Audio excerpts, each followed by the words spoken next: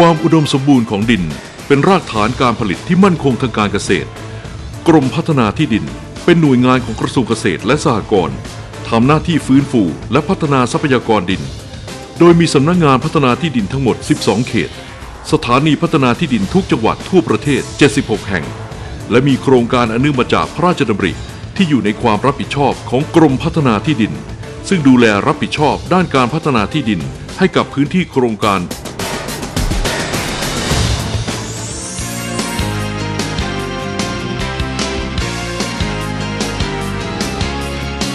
การดำเนินงานในแต่ละภาคส่วนของกรมพัฒนาที่ดิน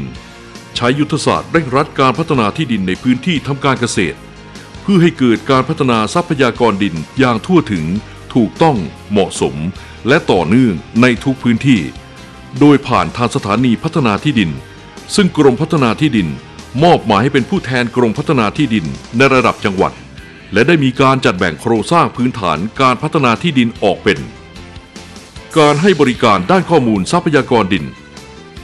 การจัดทำระบบอนุรักษ์ดินและน้ำ การฟื้นฟูและปรับปรุงบำรุงดิน จัดทำแหล่งน้ำเพื่อการอนุรักษ์ดินและน้ำในพื้นที่ทำการเกษตร การพัฒนาหมอดินอาสา งานบริการและถ่ายทอดเทคโนโลยีด้านการพัฒนาที่ดิน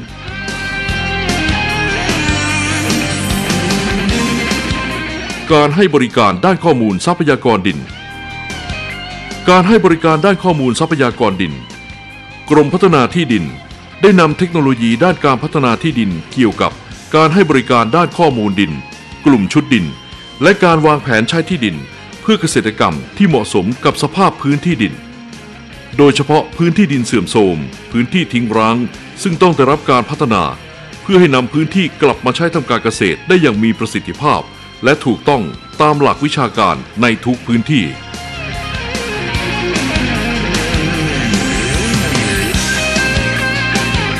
การจัดทำระบบอนุรักษ์ดินและน้ำ การจัดทำระบบอนุรักษ์ดินและน้ำ ถือเป็นภารกิจหลักที่สำคัญ กรมพัฒนาที่ดิน ได้จัดทำแปลงสาธิต ระบบอนุรักษ์ดินและน้ำรูปแบบต่างๆ เช่น ในพื้นที่ที่มีความลาดชันสูง เสี่ยงต่อการชะล้างพังทลาย ต้องจัดทำขั้นบันไดดิน ปลูกหญ้าแฝกทำคันคูรับน้ำรอบเขา ส่วนพื้นที่ลาดชันน้อย ให้ทำคันดิน และพื้นที่ราบลุ่ม ปรับพื้นที่ในลักษณะต่างๆ เช่น ขุดคูยกร่อง ปรับรูปแปลงนา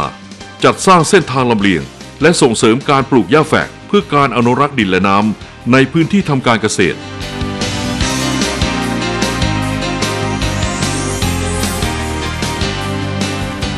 การจัดทำระบบอนุรักษ์ดินและน้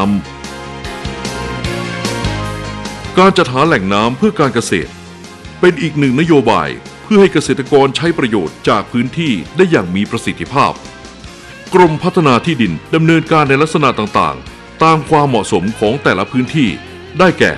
การก่อสร้างฝายกักเก็บน้ำอ่างเก็บน้ำสระเก็บน้ำขุดลอกแหล่งน้ำตลอดจนคลองส่งน้ำและระบบท่อส่งน้ำเข้าพื้นที่เกษตรกรรมจัดทำสระน้ำขนาดเล็กในไร่นาขนาดความจุ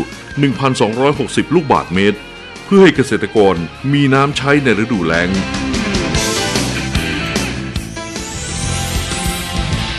การฟื้นฟูและปรับปรุงบำรุงดิน ด้านการฟื้นฟูและปรับปรุงบำรุงดิน ในพื้นที่เสื่อมโทรมที่มีการชะล้างพังทลายของหน้าดินรณรงค์และส่งเสริมให้มีการปลูกหญ้าแฝก เพื่อการอนุรักษ์ดินและน้ำ การปรับปรุงดินเปรี้ยว ดินกรด ดินเค็ม ดินทราย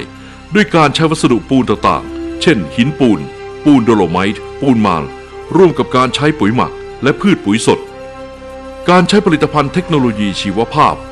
กรมพัฒนาที่ดินได้คิดค้นและพัฒนาจุลินทรีย์ต่างๆสำหรับใช้ในการปรับปรุงบำรุงดิน ได้แก่ สารเร่งซูเปอร์พอดอหนึ่งสำหรับทำปุ๋ยหมัก และปุ๋ยอินทรีย์คุณภาพสูง สารเร่งซูเปอร์พอดอสองผลิตน้ำหมักชีวภาพ สารเร่งซูเปอร์พอดอสามใช้ควบคุมโรครากเน่าโคนเน่าให้กับพืชผักและไม้ผล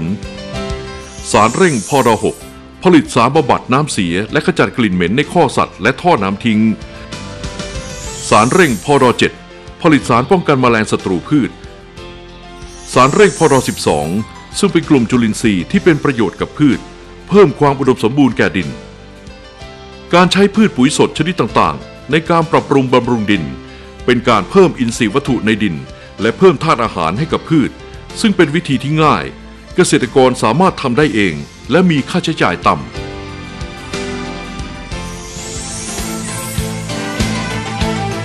การให้บริการ การให้บริการของกรมพัฒนาที่ดิน ครอบคลุมทั่วถึงทั้งงานด้านวิชาการ การจัดทำแปลงสาธิต การถ่ายทอดเทคโนโลยีข้อมูลดิน โดยใช้โปรแกรมดินไทย และธาตุอาหารพืช หรือโปรแกรมการจัดการดิน และปุ๋ยรายแปลง ตามค่าการวิเคราะห์ดิน ซึ่งเกษตรกรสามารถรับทราบข้อมูลดินในระดับพื้นที่ของตนเองอย่างละเอียด การใช้แผนที่ภาพถ่ายออโทสีมาตราส่วน1ต่อ4,000 ในการวางแผนการใช้ที่ดิน ส่งเสริมสนับสนุนวัสดุปรับปรุงดิน เพื่อให้เกษตรกรได้รับบริการเกี่ยวกับงานพัฒนาที่ดินอย่างเหมาะสม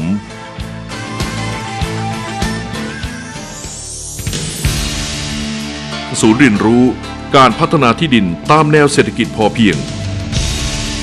จากการปรับโครงสร้างภาคเกษตร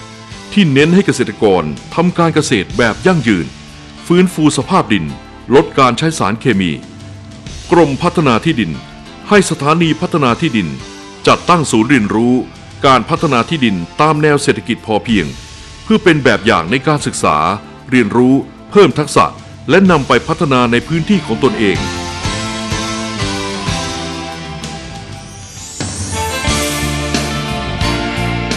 การพัฒนาหมอดินอาสา บุคคลที่เป็นกำลังสำคัญในการทำงานร่วมกับกรมพัฒนาที่ดินคือ หมอดินอาสา ซึ่งเป็นผู้แทนของกรมพัฒนาที่ดินในระดับพื้นที่ ปัจจุบันหมอดินอาสามีทุกหมู่บ้านมากกว่า 80,000 คนทั่วประเทศ โดยหมอดินอาสาทำหน้าที่เป็นวิทยากรถ่ายทอดความรู้ให้แก่เกษตรกร เป็นผู้ช่วยของเจ้าหน้าที่ในการติดต่อประสานงาน และติดตามงานด้านพัฒนาที่ดินให้กับกรมพัฒนาที่ดิน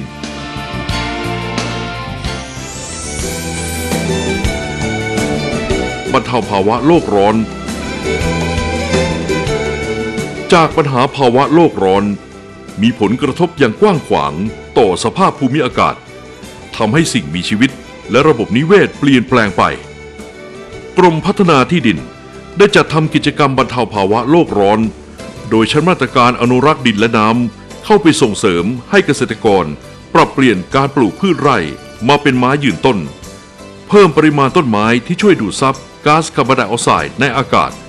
รวมทั้งรณรงค์ให้เกษตรกร หันมาใช้วิธีการไถกลบต่อสั่งพืช แทนการเผาทำลายทิ้ง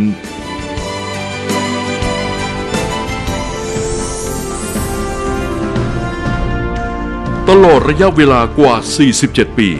ถึงวันนี้ กรมพัฒนาที่ดินยังคงมุ่งมั่น สร้างสรรค์ คิดค้น วิจัย และพัฒนาทรัพยากรดิน เพื่อให้ได้มาซึ่งความอุดมสมบูรณ์ในภาคการเกษตรของประเทศไทย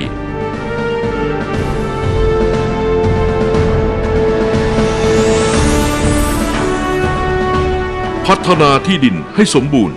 ลดต้นทุนการผลิต ในทิศทางการใช้ประโยชน์อย่างยั่งยืน เกษตรกรอยู่ได้บนพื้นฐานความพอเพียง